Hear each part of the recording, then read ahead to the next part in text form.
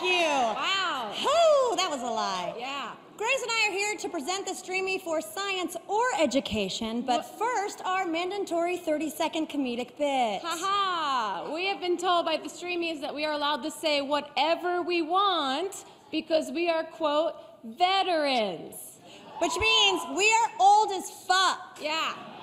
Two walking corpses. I literally do not know who 90% of this audience is, and 90% of those people should be proud. The other 10, you old too, motherfucker.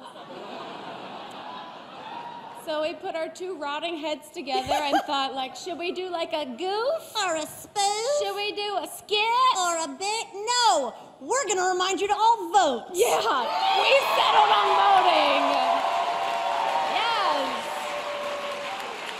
This is a room of some of the most inspiring creators that I, both of us, have the luxury to be in the same community as. You have so much influence. The only thing that we encourage you to do is vote and influence your audience to Yes. vote.